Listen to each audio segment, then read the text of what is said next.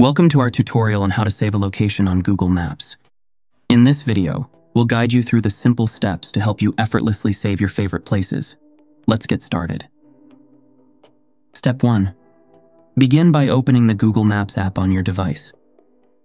Step 2. Once you're in the app, find the place you want to save on the map.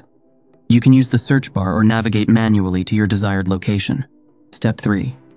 Now press and hold on the location you want to save. This will drop a pin on the map. Step 4. A pop-up menu will appear with various options. Choose the one that suits you. For example, in this tutorial, we'll select starred places. Step 5. After selecting starred places, or your preferred option, confirm your choice. This action saves the location to your chosen category. And there you have it. You've successfully added a location on Google Maps. It's a handy feature to remember and revisit your favorite spots easily.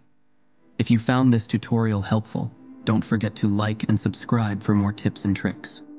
Thanks for watching.